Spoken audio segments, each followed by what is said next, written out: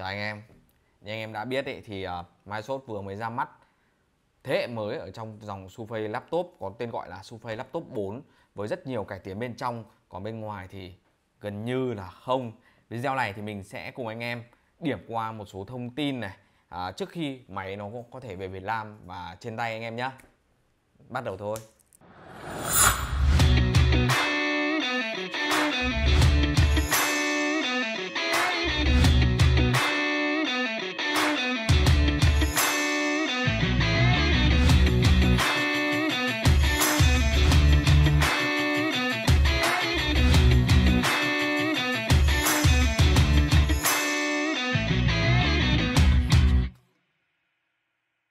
Ta tới với cả điểm mà ít thay đổi nhất đi đó chính là thiết kế.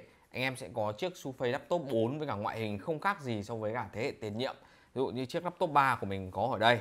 Nếu nói không ngoa ấy, thì chả khác gì cả. Điểm mới duy nhất đó chính là anh em sẽ có một màu à, mới đó là màu xanh blue eye nghĩa là màu xanh nhạt thay vì màu xanh biển sâu như là chiếc máy mình đang có trên tay.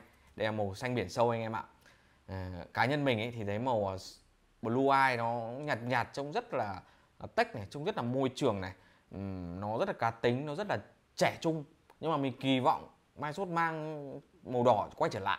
Ví dụ laptop 1, laptop 2 sốt có màu đỏ Bulgari rất là đẹp. Mình rất là thích màu đỏ anh em ạ.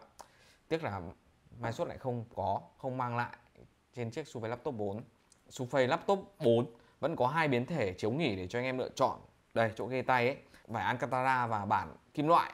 Mình thì thích vải Alcantara hơn tại vì nó rất êm khi anh em làm việc uh, lâu ngày thì nó sẽ không bị mỏi cảm giác nó yêu chiều cổ tay dã man. Nhất là những anh em mà có thói quen đeo đồng hồ như mình để lên cổ tay như thế này nó không sẽ không xước nào đồng hồ này nó cũng làm thoải mái tay của anh em hơn không bị mỏi. Tuy nhiên với một số anh em ra mồ hôi tay này làm việc ở môi trường ẩm thấp bẩn và bụi thì ờ, dễ làm bẩn cái lớp vải này. Anh em lên chọn bản nhôm nhá. Mặc dù thích bản Alcantara nhưng mà vẫn nên chọn bản nhôm à, cái thứ hai đó chính là cấu hình. Đây là điểm thay đổi lớn nhất ấn tượng nhất mà mình uh, thấy chiếc Surface Laptop 4 này có. Anh em sẽ có tổng cộng 16 biến thể cấu hình. Anh em thấy sao? Quá là khủng khiếp. 16 biến thể cấu hình chưa kể. Mỗi loại thì thường có 4 màu anh em ạ. Rất rất rất rất nhiều sự lựa chọn dành cho anh em. Nhưng với người mới thì kể ra thì cũng đau đầu để suy nghĩ lựa chọn đấy. Ở phiên bản 13 inch thì anh em vẫn có chip Intel Gen 11 uh, à, mới nhất. Đó, i5 cho tới i7 Microsoft bổ thu sung thêm phiên bản AMD Ryzen Mobile 4000 series R Ryzen 5 mạnh mẽ. Ôi, khá là dài. Ok. Không phải bản uh, Ryzen mới nhất phiên bản mới nhất từ AMD như là uh, bản dòng 5000 nhưng mà tuy nhiên thì cấu hình nó cũng rất là ấn tượng rồi. Ấn tượng hơn so với phiên bản Intel rất là nhiều. Anh em sẽ có 6 x 12 luồng với cả Ryzen 5 và 8 x 16 luồng với cả phiên bản Ryzen 7 trên 15 inch. VGA onboard của những con chip AMD thì khỏi bàn rồi. À, mình có bài đánh giá chi tiết chiếc Surface laptop 315 inch chạy chip AMD năm ngoái nó có thể cân những tựa game esports mạnh lặng ví dụ như là Dota 2 mà không cần cạc rời. Hiệu năng của nó phải tương đương GTX 1030 1050 đấy anh em ạ. Ấn tượng cho một chiếc Ultrabook. Bản Intel thì anh em sẽ có trên cả 13,5 và 15 inch à, hiệu năng cũng à, tương đối tốt nhưng mà nếu mà mình lựa chọn ấy mình sẽ lựa chọn phiên bản AMD nó mạnh hơn. Còn anh em thì sao? Anh em lựa chọn AMD hay Intel thì có thể bình luận phía dưới cho mình biết nhá. Còn tiếp theo chúng ta sẽ về phần giá. Anh em sẽ có phiên bản thấp tiền nhất là 999 đô uh, cho bản Ryzen 5 RAM 8 SD 256 quá tuyệt vời. Microsoft bỏ đi phiên bản 128 rồi anh em ạ. Ơn trời.